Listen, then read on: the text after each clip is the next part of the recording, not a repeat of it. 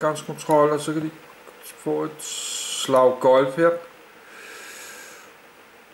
Kan de få en runde golf.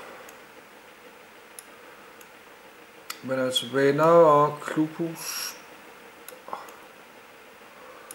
Bor dejligt, behageligt, køligt, bliver for varmt, kan det lige tage en dukke af deres svømmepøl.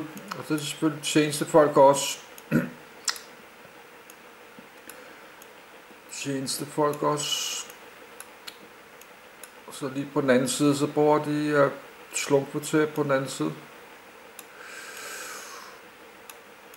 Jeg ved ikke, om der er adgangskontrol sådan et sted, der kan godt være. Det er nok en flod, den der vand.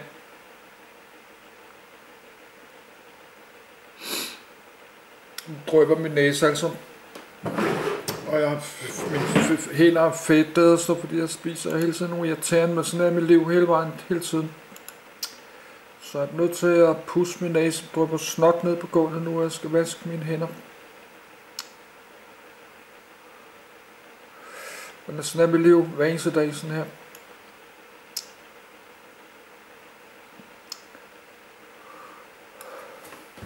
Så der er også, og det er måske den lille lufthavn, vi kigger på der.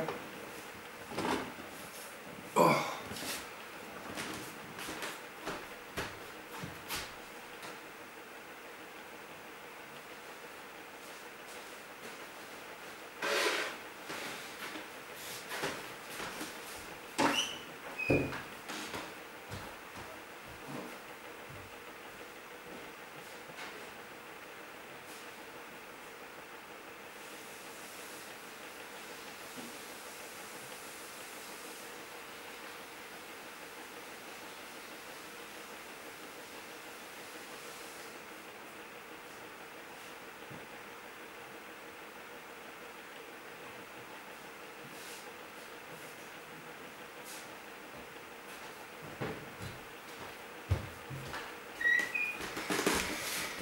Så, men klokken er 11 nu.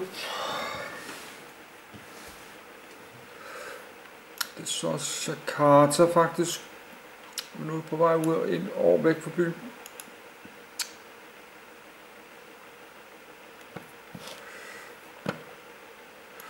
Så der er også en masse mennesker der, der har en masse penge. Så altså, fordi jeg er her i Danmark, og der er jeg altså ikke sådan specielt rig.